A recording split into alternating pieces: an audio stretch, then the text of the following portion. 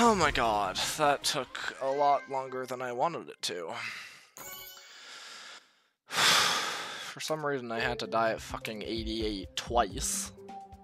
I don't know why that happened. This definitely did not need to take as long as it did. This is really weird. It's like, it's kind of fun to execute, but it can also be really, really frustrating on, like, practically every death, to be honest, especially with the ball parts.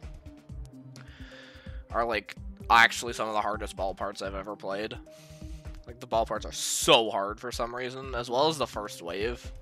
The first two ball parts in the first wave, like, definitely carry the level a bit. I can't really recommend this, but like if you're really bored, I guess I go for it if you want kind of thing. Mm-hmm.